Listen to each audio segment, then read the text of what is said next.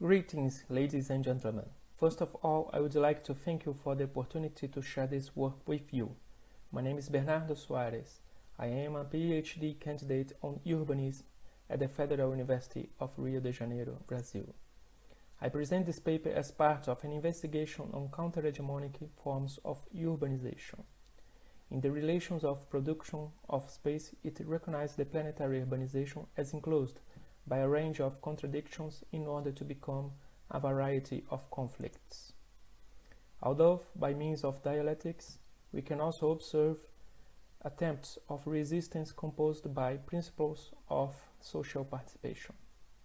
And, in its turn, the insurgency of social forces composed by popular, emancipatory, and collective movements on the construction of cities, finally recognizing the notion of common.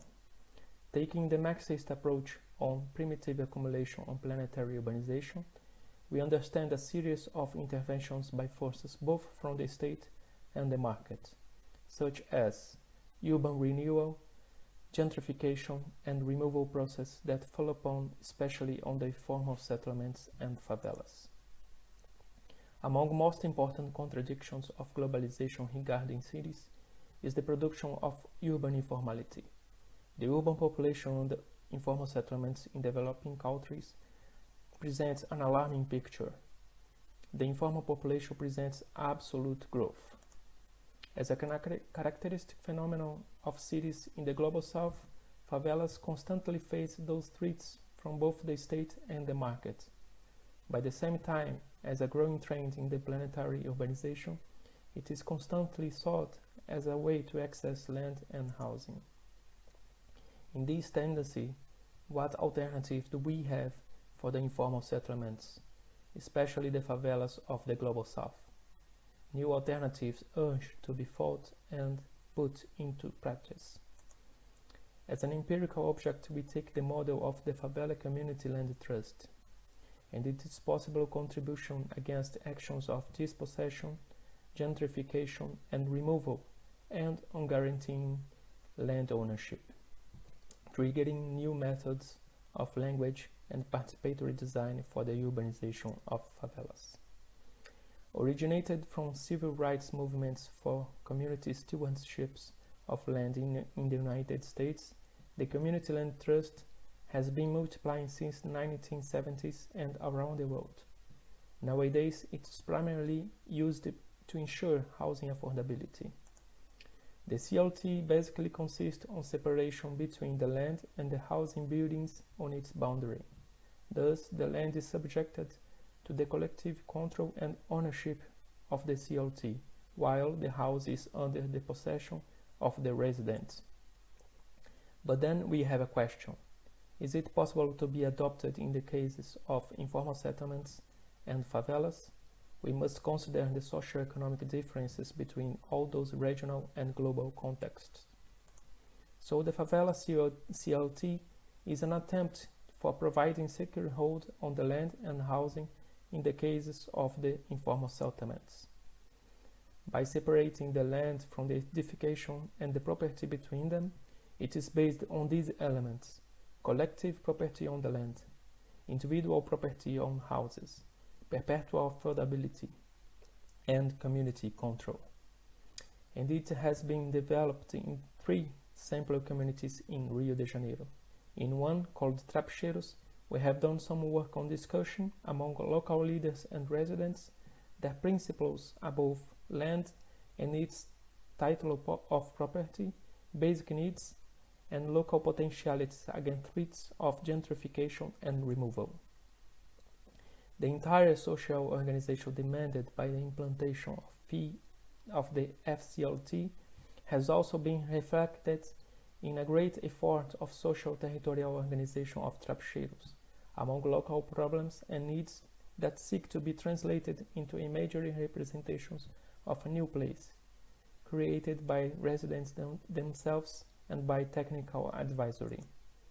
But there is our theoretical and conceptual question, which is, well, it leads us to recognize that from its contradictions and conflicts, also dialectically, arise new forms of social participation between ethical functions of architecture and urbanism. An urban common might emerge as a new paradigm based on democratization, collectivization, and associativism, and it can be found in cases when land is produced by value in use, in the forms of autogestionate and auto-constructive experiences of housing. These autonomous elements can mean an alternative form of social properties, with, which paves the way for a process of decommodification of land and housing. By democratic management over territory, independence from the state and resistance to the market, and transforming land into a collective property under non-profit management. Finally, we consider urban commons as a form of resistance to the planetary urban crisis, overcoming forms of appropriation of space through new methods of social production of land and housing based on the principles of autonomy, autogestion, and participation. In this regard, I would like to leave you with a couple of, okay, of questions. How can architecture and urbanism contribute to this struggle? And what kind of language and design may we produce? Thank you.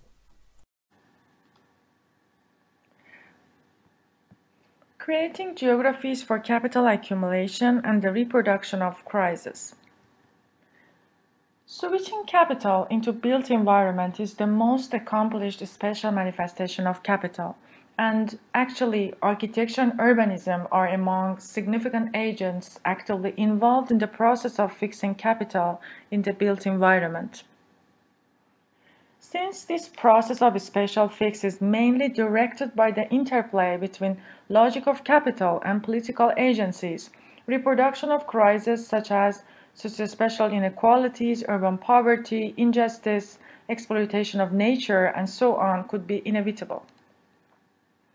To overcome the current planetary crisis and to construct an alternative urbanization that can provide more humanized urban life experiences is to begin with considering the existing sociospatial dialectic more instead of mere abstractions in the education as well as practice of architecture and urbanism. The architectural education that can integrate concrete realities of the context into its pedagogy through providing critical perspective can be accomplished in producing real possible solutions to the present crisis. In this respect, the ongoing study aims to critically examine the role that architecture and urbanism play in sustaining urbanization which leads to reproduction of contemporary crises. Moreover, insights into the possibility of forming a more challenging framework for practicing architecture and urbanism will be provided. As Harvey says, special forms and social processes have interpenetrations, so that special forms contain social processes and social processes are spatial. The broader viewpoint of the existing socio-spatial dialectic per se provides a critical approach toward the built environment and its crisis. The crises of different sorts, from urban poverty, socio-spatial polarization, class-determined fragmentation, marginalization of the lower social strata, to the exploitation of nature, all can be taken into account as the products of the processes of urban space production.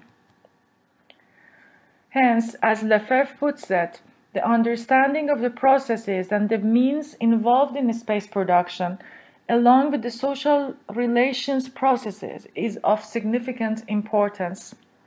It is not possible to expect a more inclusionary, fair, and free urban life experiences for all city dwellers, regardless of their social class, unless by moving beyond the visible current planetary crisis as the outcomes to the processes produce them.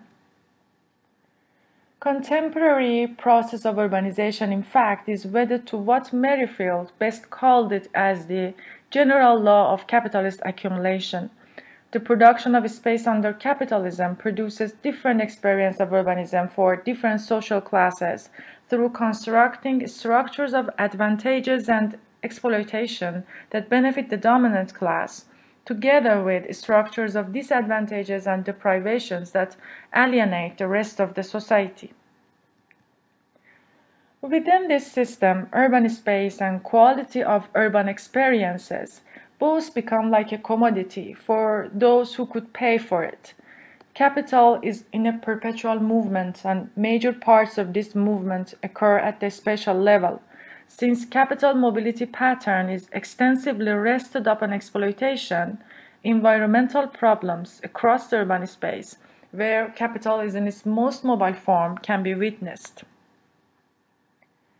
So, in the absence of any intervening action, space production under hegemonic command of capital and the state will be solidified and will reproduce crisis that leaves its profound impacts on the most vulnerable and poorest of the poor strata. As a part of planning an intervention to change the predominant pattern of space production that brings about crisis, is to highlight the social responsibility that the architect has to take on toward the society. Of course, this could be accomplished unless by making some changes in the architectural education to have sociopolitically responsive architects as future graduates. To this end, the attempts should be directed toward integrating architectural education, in particular design studios with insights from sociopolitical mechanisms that are engaged in production, reproduction, and manipulation of urban space. The design project indeed should be regarded as a research project that requires a critical examination of the present socio-spatial dialectic then, building on the obtained critical examination, design project should be programmed concerning existing concrete problems of the society. The architectural practices could be liberating if embracing sociopolitical engagement, moving from the final outcome to the space production process, and addressing the collective social well being. Concluding thoughts as long as the mode of space production is driven by the hegemonic command of capital and the state, monopolizing urban space for a small portion of society, wealthy elite, and their needs while marginalizing the poor can be a prevailing practice. The production of socialist space necessitates the move from the urban space as an exchange value to the urban space as a use value. This is what Merrifield says. So, not the logic of capital, but socially driven mode of production that gives priority to the social choices is the most needed for the contemporary world. Reminding the architect to be aware of his her position and role not as a passive agent contributes to the current dominant mode of space production and subsequently the the urban crisis come along with it, but as a sociopolitically conscious responsive, and active subject that engages in the very process can be the basis for inventing future in a different way. Thank you for listening. Hello, my name is Haralapos Tsavdaroglou. I'm a postdoctoral researcher and with my co-author Professor Konstantinos Lalenis from the University of Thessaly we present the Post-Democracy Governance in Refugee Camps, unveiling the sociospatial conflicts of refugee crisis in Athens and Thessaloniki. In the last five years, the majority of refugees that found themselves in Greece after the closure of the Balkan route and the prohibition of their passage in North European countries have been stranded in state-run camps located in the perimeter of Athens and Thessaloniki. There is a number of controversial issues linked to this program that concern the spatial and social condition and their impact on the quality of life in these camps. In this presentation, we focus our analysis on the spatial governance and argue that the refugee camps constitute a place where a post-democratic model is implemented under top-down policies and lack of public participation. Uh, about the concept of post-democracy, according to several scholars during the last few decades, in Western Europe, North America, under the impact of neoliberal hegemony the gradual dissolution of ideological differences between mainstream parties, the democratic system has been marked by a remarkable shift to a post-democratic model of governance. Swyngedouw considers the concept of, of post-democracy in relation to a post-political condition, highlighting that a post-democratic arrangement has replaced debate, disagreement and dissensus with a series of technologies of governing that fuse around consensus, agreement, accountancy metrics and technocratic management. The approach on post-democracy seems adequate to explain the regime of refugee camps which has been critically examined by several scholars who underline that camps consist places of exemption, regimes of marginality and spaces of discipline and governmentality. About the post-democratic governance in refugee camps in Athens and Thessaloniki. The refugee camps are places where life, social relations, mobility and dissensus are controlled and managed by a post-democratic apparatus state mechanism of, mechanisms of police, army and bureaucratic services, supranational institutions like the European Union, the UNHCR and international humanitarian organizations are responsible for the management of the newcomers. Yet, democratic processes like voting, freedom of speech, freedom of assembly, participation in decision making are not included or prohibited. Thus, we argue that the refugee camps constitute an emblematic place of a post-democratic model of governance. Thus, we would like to emphasize three main points that communicate the post-democratic model of governance in these refugee camps. Firstly, the Greek state program of refugee camps did not follow standard procedures in the choice and assessment of the camps' locations, failing to take into consideration and include in the decision processes the local communities. Processes concerning the location of most of the camps in Athens and Thessaloniki followed a top-down model without consulting the host community nor, nor the local municipality authorities. Secondly, the camps violate official urban planning legislation as they are built in non-residential areas. According to the local municipalities' land uses maps, the areas of the camps are designed for mainly industrial uses in which residential uses are prohibited, Furthermore, the camps are located in abandoned old factories and military campsites far away from the city centers and cut off from social services. Thirdly, refugees are excluded from any form of involvement and participation in the management and governance of the camps. Although there is a rich variety of community participatory methods, toolkits, and directions available for the design, planning, and management of refugee camps, in the case of Athens and Thessaloniki, these have been remarkably overlooked. Finally, some concluding remarks. According to Esposito, the post-democracy is, uh, from that point onward, the kratos state of democracy no longer refer to the demos but to a bios or even to a genos. According to Aristotle, in a democracy, the demos, the people, is Kyrios, the governor. The refugee camps constitute emblematic spaces where the governance of Kratos of Genos replaced the demos. As we saw, the legitimacy of camps is based on the separation between the ethnic stranger and the ethnic citizen. Indeed, people with a different Genos nationality, as indicated in their passports, are stigmatized and excluded in the political, social, and spatial margins. Consequently, a presupposition for the reinvention of demos entails the recognition of refugees as equal people who can participate in the planning and governance of their shelters. But at this point we must emphasize that not only equality but also liberty is the sine qua non of co-governance. Meanwhile, one of the main slogans used by refugees when they demonstrate in the camps says Huria, Azadi, freedom now. Balibar's term "égaliberté" as the unity of equality and liberty, the former defined as the absence of discrimination and the latter as absence of repression, is appropriate here.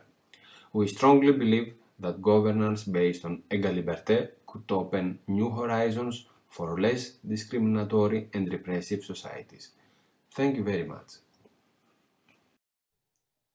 Recovering the City Citizen Empowerment towards a tactical urbanism.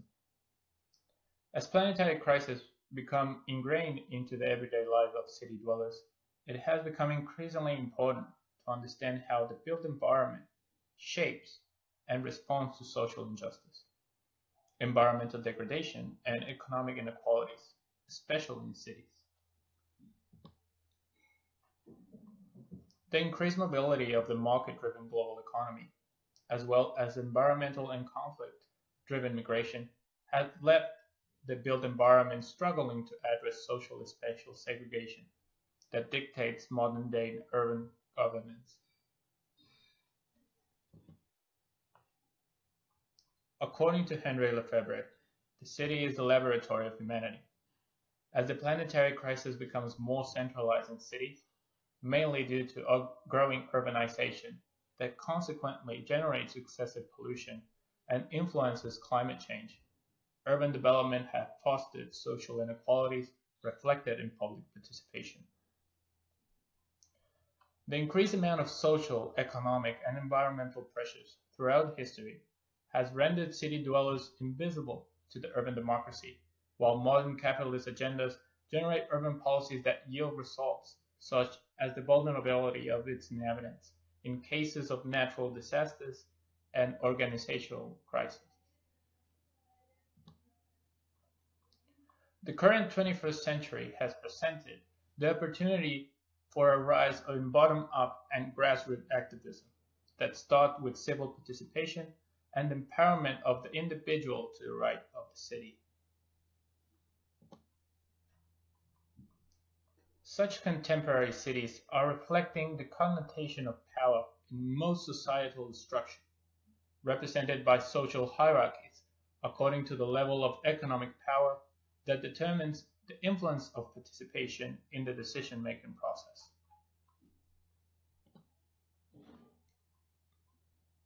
Sherry Arnstein's social ladder of citizen engagement illustrates the metaphor for describing and evaluating participatory activities. It distinguishes different levels of participation in relation to influence of power that has been consistent in the structure of contemporary societies.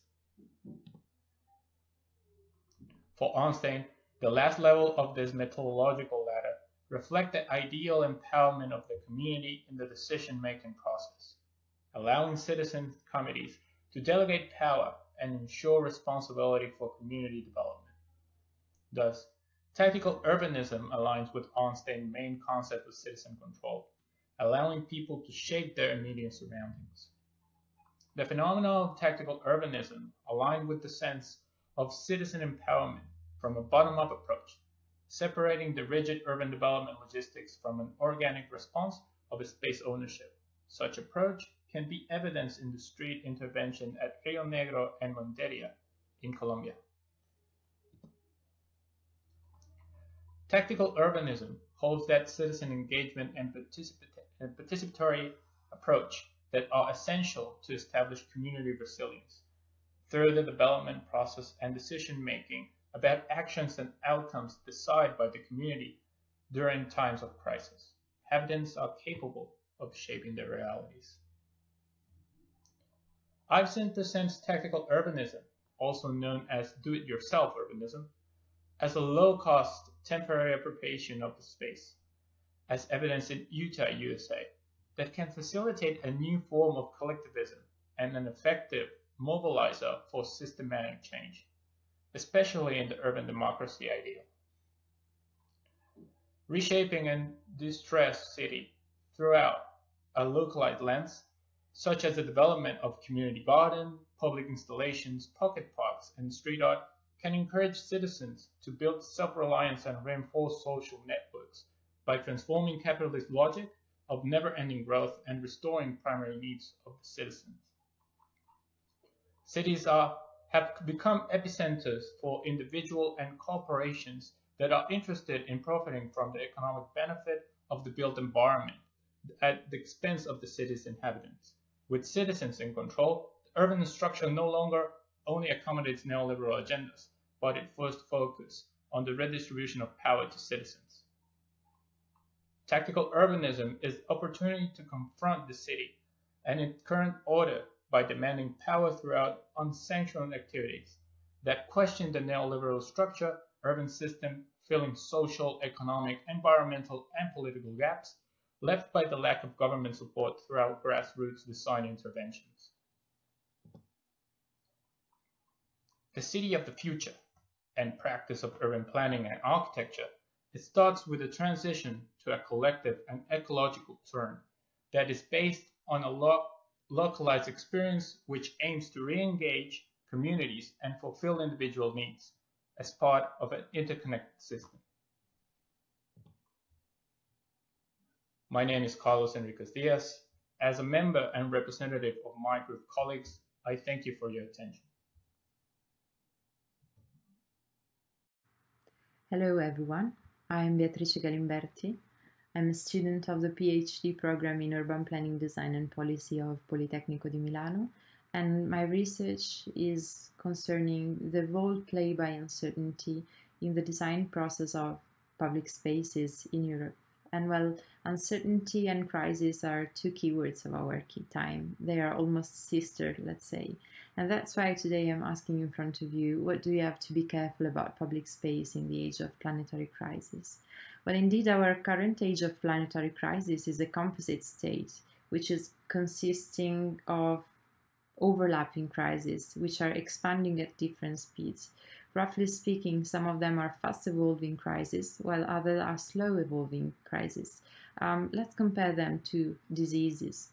So if we consider one by one each pandemic, each wildfire, etc., well, these are all examples of fast evolving issues, and they are like a stroke, which, when it arrives, immediately shows its effects.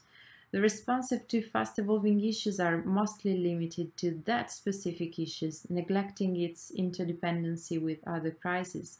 But if, if we work in this sense, the next stroke is just around the corner. Well, climate change and progressive erosion of social cohesions are examples of slow evolving issues, similar to a long degenerative disease, whose effects are at first mild, thus often neglected, and the risk is not to feel the emergency. Moreover, actions in response to them rarely bring results in the short term. But as researchers and reflective practitioners, we ought to be aware and careful about the actions taken in response to fast evolving issues. Indeed, these rapid actions can be counterproductive in the long run. For example, facial masks are super useful against COVID, but they pollute the environment if not disposed properly. And let's consider the fast evolving issues of the COVID 19. Well, stay at home orders temporarily introduced restriction in the use of public spaces. Within the same area, the restrictions are the same for everybody, but not all the population is equally equipped to live in a quarantine situation, nor to access public space and services. So how to avoid answer to this fast-growing issue which damage rights such as the equal access of public spaces in cities? Well, I argue we need to be vigilant and keep working on the foundational issues of urban public space in our age of planetary crisis. Within my PhD, um, I'm working on the definition of the topicality of public space. Some of the aspects which emerged are foundational aspects, so are basic aspects which respond to fundamental human rights, as the one listed. And here I want to focus on the control in public space. And well, actually, control is not a new argument for studies on the production and management of public space. It has many forms. That's the, the digital phygital one. Well, in connection to the disruptive spread of ICTs in the last 15 years, new forms of control have emerged.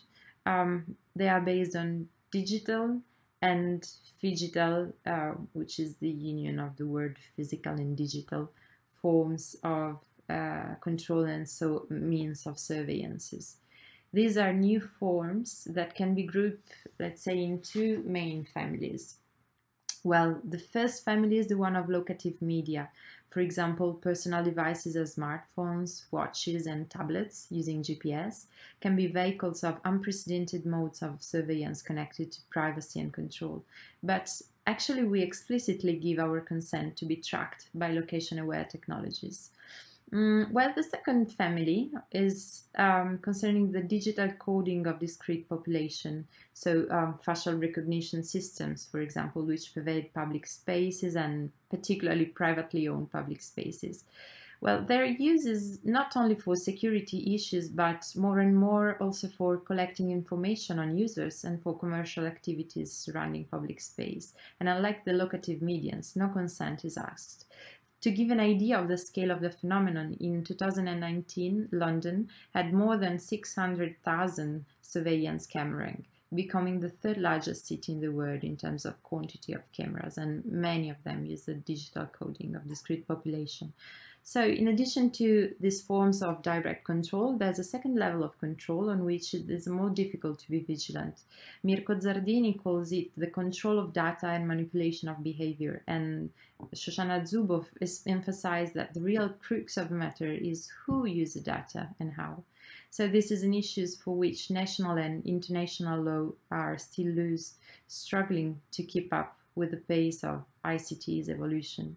And uh, well, this type of control especially proliferates in public spaces and privately owned public spaces. It becomes a real and relevant issue to be careful about for architecture and urbanism researchers and practitioners in the way we inquire and shape public space and in the way we interact with stakeholders of the project. And uh, so after that, let's pass to conclusions. So when fast evolving issues almost monopolize the public discussions, as practitioners and researchers, we need to remain even more aware of foundational spatial needs and rights. This is an ethical and deontological issues, um, but does it concern only practitioners? Well, as today practitioners are increasingly called curators, facilitators, which feeds and support the design process in which other actors are involved as civil servants, activists, engaged citizens, other profession, other practitioners, etc. Well, um, altogether we must be vigilant on these aspects and architects and urbanists are called to become curators of this collective ethical carefulness and this is uh, an effort that require an inevitable shift from the current education and practice of architecture and urbanism. And thank you so much for your attention. Hello, my name is Sabine Lepere. I'm a socially engaged architect and urban planner. Uh, and I'm going to present to you today a short version of the thesis that I presented uh, for the Master of International action, humanitarian action and conflict from Uppsala University in 2020.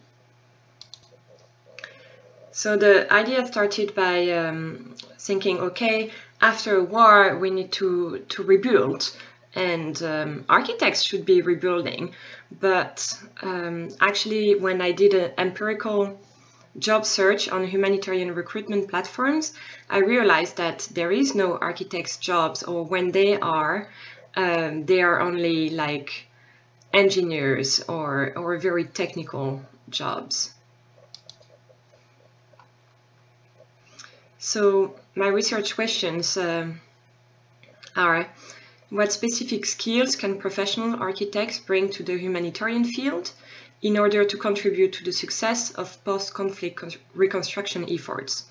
And the second research question was what positive impacts can architecture and urban planning have on peace building processes? So we see here basically three um, porous domains of, of research. There is the social and humanitarian architecture, so I reviewed literature in that field. There is the humanitarian shelter and um, uh, displacement so I reviewed literature in that field. And then I wanted to link those to peace building and, and conflict resolution field. And that's when I found uh, this um, author called Jean-Paul Lederach. Um, he's very influential in the field of uh, peace building and he talks about conflict transformation. Here is his um, uh, pyramid where he identified three different um, range of leadership from grassroots to top leadership. And he says that you can work towards sustainable peace via the improvement of relationship um, between those different levels and within each level. And that's where I make the hypothesis that both architects and humanitarian workers operating in this middle range uh, leadership can help improve the population within the grassroots and also link with top leadership in order to transform a conflict towards sustainable peace. So I took three different case studies. Um, they are very different, uh, three different parts of the world, three different um, uh, programs and, and timelines. They all take place in post-conflict settings. So we have uh, Rwanda, Colombia and Iraq. To start with the Butaro Hospital in Rwanda, I can quickly say that it was um, uh, the Butaro District Hospital that uh, provides the Burera region with modern medical care since 2011. Um, and uh, of course, the conflict in Rwanda was uh, the big genocide that happened in 1994. Um, the design and implementation process uh, was made by the non-profit organization Mass Design Group. It uses local materials, uh, it provided jobs to local craftsmen, but also the pride of participating in such a project for the common good. It also provides dignity to both the staff and the patients. My second case study is the city of Medellin in Colombia. It's the second largest city with 4 million inhabitants. And um, for many decades, there had been a war between the government and different uh, non-state actors. Um, the FARCs uh, were one of them. And um, internal displacement, displacement resulted in the creation of huge comunas, it's like slums on the hillsides on each, all around the city, uh, where there are uh, a lot of um, uh, extreme levels of violence and um, uh, drug dealing and uh, crimes. And from 2004, the municipalities launched a social urbanism strategy to city planning that used architecture as a tool to address the underlying causes of urban violence. It's now acclaimed as a success um, story because it, it offers the inhabitants of those slums, uh, the comunas, um, a way to um, tackle inequality and mitigate violence um, by, by creating new possibilities in the city. You can, of course, read more about those different case, case studies um, in the full version of my thesis. For my uh, third and last case study, um, I uh, interviewed uh, Christiania Adalgesdotter, who was on a mission with the um, ICRC, the, in, the International Committee of the Red Cross, in Iraq in 2019. Uh, in 2019, there was a huge amount of um, returnees, uh, so people, displaced people coming back to Iraq and uh, most of them settled down in their uh, usual uh, place of, of, of, habitat, so in their own villages. And this um, Iraq returnee program um, was actually a pilot pro project that provided an alternative to traditional reconstruction approaches by supporting target communities in the self-reconstruction of their own houses. So it was a very holistic and multidisciplinary approach that supported entrepreneurship, so the local market, and gave a specific attention to vulnerable groups. So this was very quick, but now my findings. So I had the literature review, uh, three different domains and three different case studies. And that led me to find that post-conflict reconstruction processes can activate the local economy, they can create cohesion, and they're able to link immediate relief uh, with longer-term development. So that's this um, humanitarian development peace nexus. It, it can contribute to community building and self-sustaining peace. Now the architect skills, which skills do they have? They understand the local context and they understand the culture. They know how to involve the local communities in participatory processes. They know how to collaborate and operate in multidisciplinary teams. Uh, they have an overview or an understanding of the psychological aspects uh, of the housing process.